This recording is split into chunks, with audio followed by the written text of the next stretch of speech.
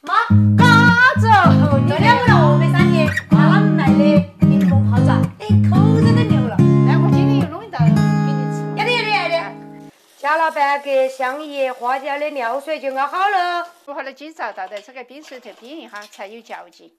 把鸡脚再小火点入味的。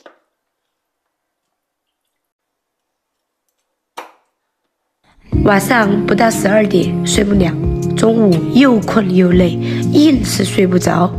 我知道只有忙碌起来，生活才是踏实的。有没有同感的朋友？评论区告诉我。我把它弄来冰箱头，放几个小时，放冰箱头。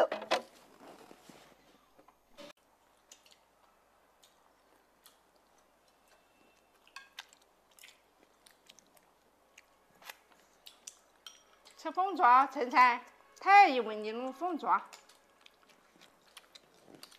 晨晨，啊你婆婆专门给你整的这个爪子。妈妈真好。你尝一下味道。哎。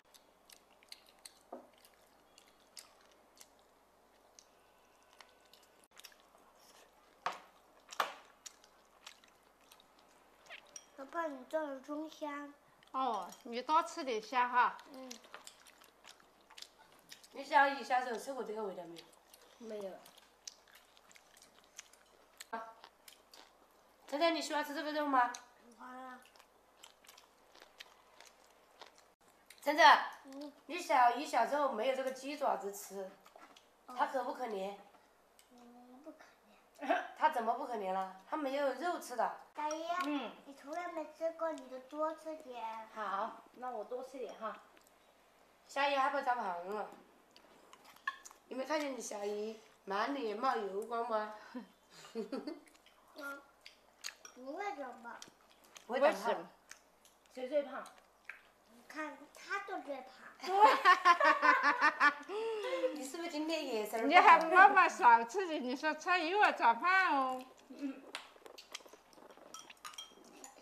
小姨没吃过这你你就多吃点一下。好，那我多吃点哈。嗯嗯。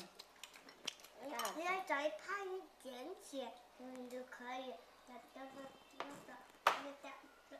可以做饭的时候给他打倒。就力气大是不是？嗯嗯。长胖一点就，长胖一点。别像妈妈一样长胖这么多。好的，我肯定保持。